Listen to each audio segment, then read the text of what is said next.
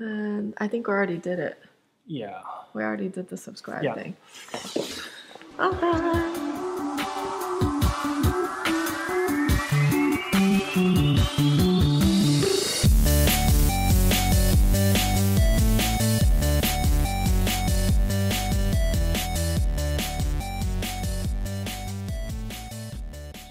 Hi, this is Nam from Easy Sunday Club. Hi, this is Cathy. And today we're going to, this is our second part of our in-depth conversation about Faire.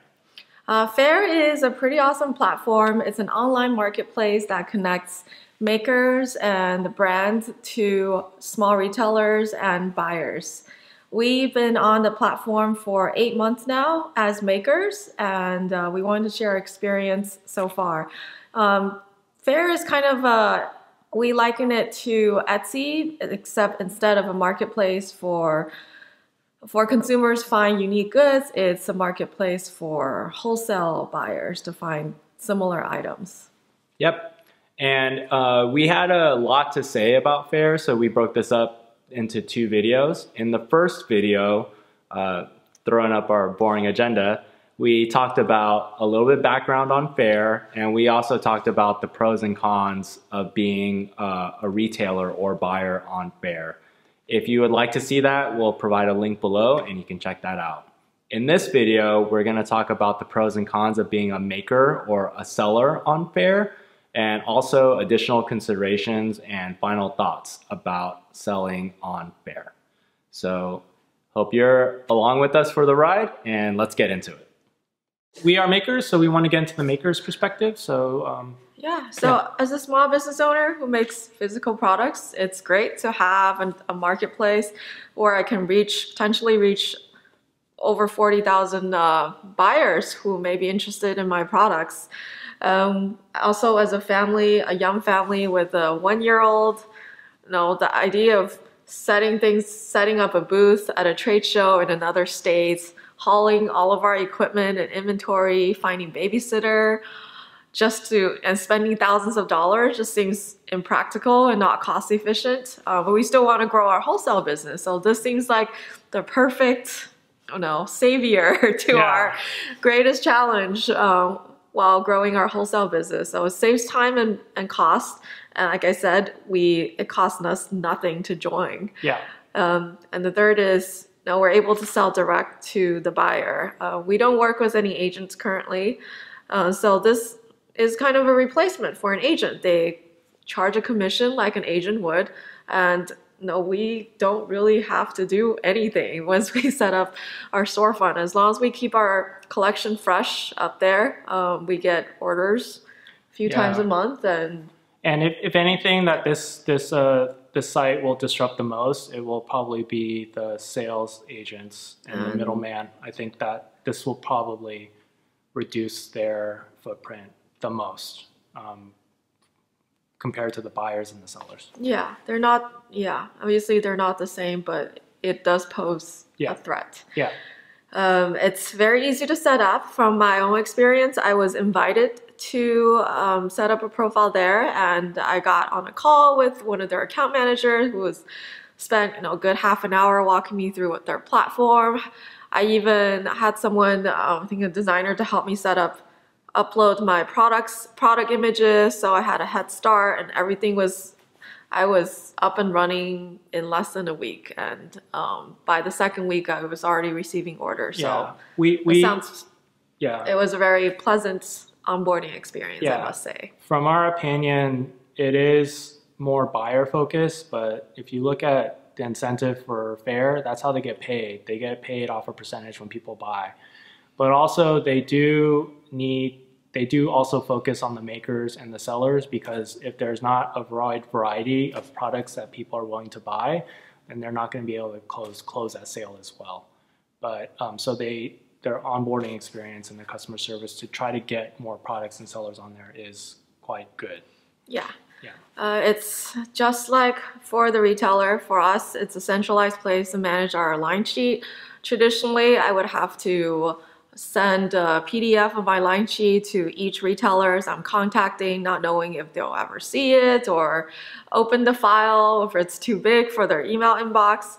Um, I have to manage each account very disparately, some through email, some through call or text, um, other times through, you know, if they're local through these in-person visits. So, and, you know, and most of all, being able to manage the payments in one area is great too. So for makers, we have the option to get paid out right away, minus a credit card fee if we want to get paid for the order immediately, or we can wait 30 days to get the full amount without the credit card fee. I opted for the 30 day just because I can afford to wait that long. Yeah. Um, and no, that 30, that 3% is a fee that I would have had to pay if I were to invoice my, my retailers outside of Faire. So I mean, that's a pretty attractive incentive Yeah. personally. And lastly, there are risks. Um, just to piggyback off the last point, there's less risk on my end. I know with some of my retailers, I offer a 30 day that 30 day payment term if it's someone that I already have a relationship with. But other times, no, I don't. I would say I don't always collect the payment um, at, before I ship the products, which you know maybe it's my own accountability. I shouldn't have done that, but um, with Faire, you don't get notified of an order unless the retailer completes an order and pays for it. So you're almost you're always guaranteed a payout. And like I said, you can choose to get paid out right away or after 30 days if you want to save the credit card fees. Yeah. Um, so let's get into some of the cons of uh, from a maker perspective, and we don't want to create like a a poop list.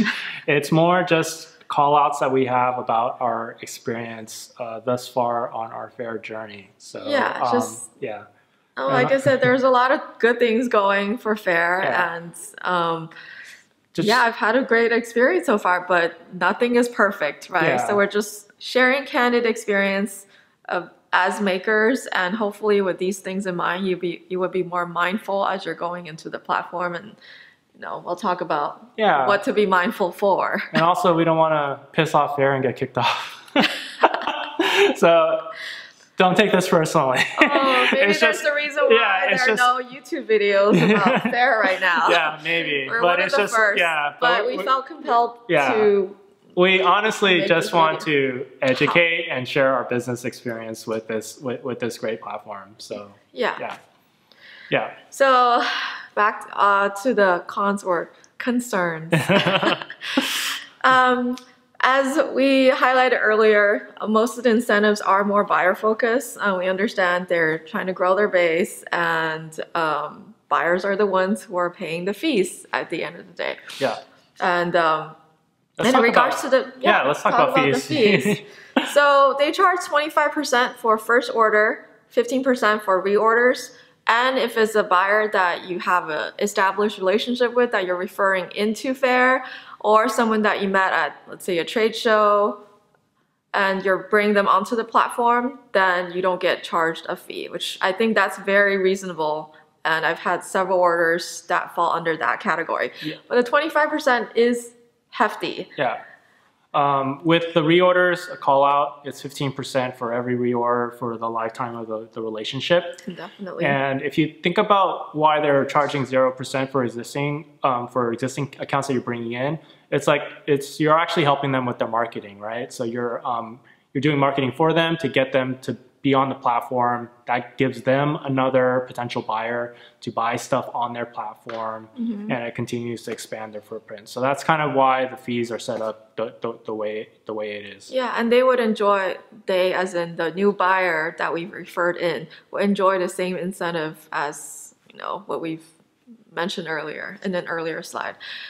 Uh, it's difficult to build long-term relationships. Again, this is from my eight-month experience dealing with Faire retailers versus my retail the retailers that I've had to do the hard work of doing the outreach and courtship and you know just months and years of building that relationship outside of Faire. I found that my reorders are not just not there for Faire um, for Faire retailers.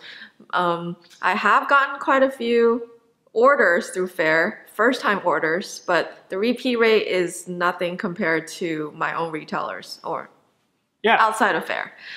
Um, this analogy that we came up with one night when we're making this deck is it kind of reminds us of Online dating. online dating. Like 15 years ago, we didn't have the Match.coms and the Bumbles and Hinges of the world. We had to dress up, go to a bar with our friends, single Yeah. friends, or wingmen, wingwomen. Or no, we had to go to a party and like strike a conversation with strangers that we think were speed, cute. da- speed dating events. Go to speed dating events, the lock and chain. Anyway, that's another YouTube video Yeah. probably. But, But, uh, now, yeah. now we can have we as single people out there have access to thousands of people in your hood, uh, in your pajamas, at the ease of a swipe, and we do feel like the long-term impact of that is it desensitizes that relationship building, the initial relationship building, you know, momentum.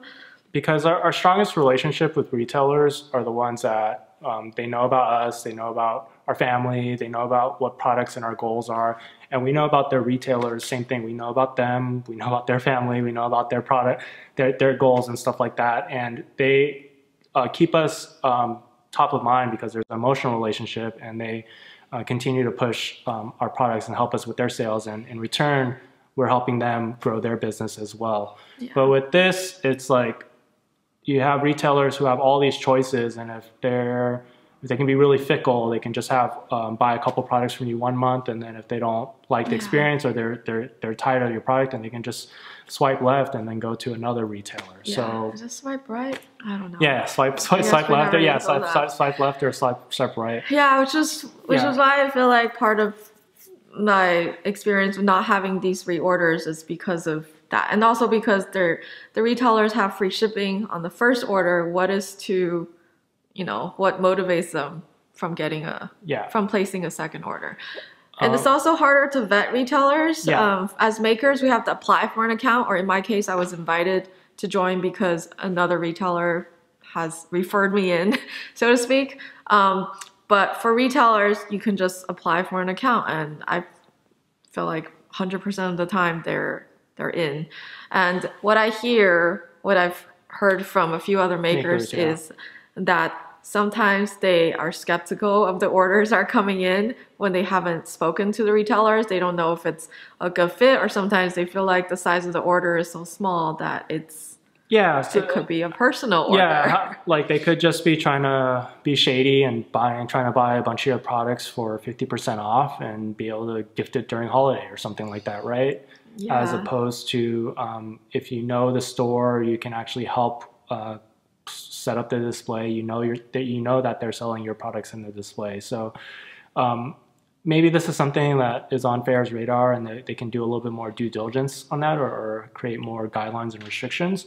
But um, it's just something in the back of our mind uh, of like the the potential. Um, Yeah. it, it goes to the long term relationship with, with these retailers. Yeah, I mean, a lot of these concerns, if they're not our personal experience, it's just through conversations with other makers. So, if anything, if Faire, you're watching this, this is helpful customer insight uh, that you're hearing it from, you know, at the ground level. And next one is something I've heard through conversation with other makers is for those who are working with agents, there is some conflict of interest with certain territories where they are working with an agent.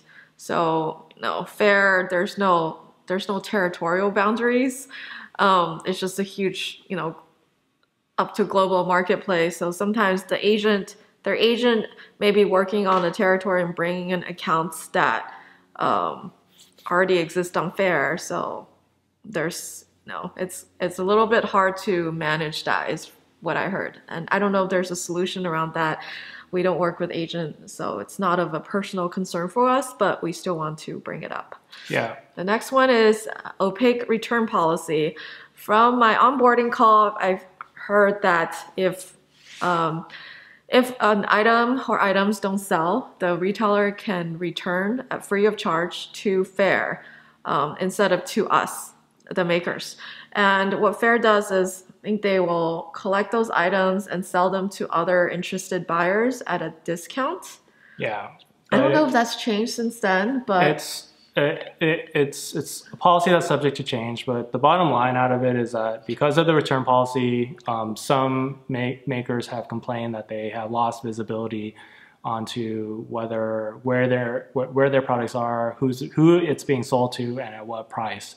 So that's just a risk. And um, if you are a control freak and want control over all of that, mm-hmm. then it would be really bad. If you just don't care and just like, you know, just uh, um, yeah. let Faire handle it and, and, and, and sell it and get rid of it however they want, then that's fine. But just, again, all of these are just call outs. Yeah.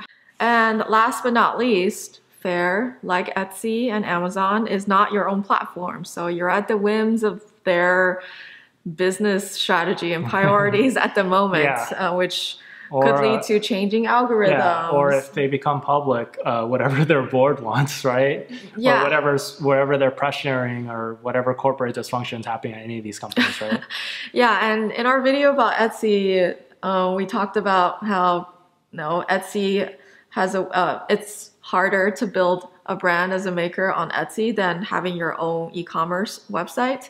Same thing with Faire. If a retailer bought something from you on Faire, who's to say no they could general just they could just generalize it as oh I purchased this great baby blanket from Faire without really remembering what the brand or what the owner behind it and the story is. Yeah, so like when they are selling your product in their store, you would hope that they would say, hey, this product is from Easy Sunday Club. Um, I know the artist, Cathy Zhang, and she makes great products.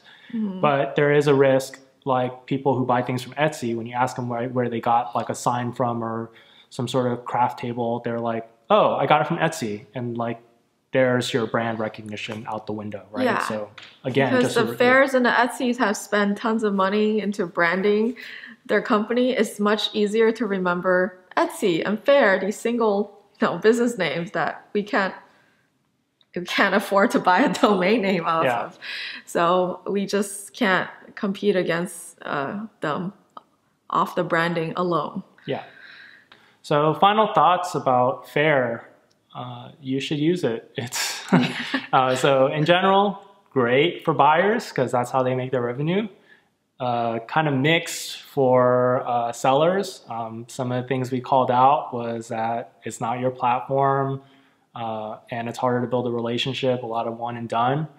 Um, so, what does that all mean? What should you do? Uh, first thing that we recommend is that you should diversify.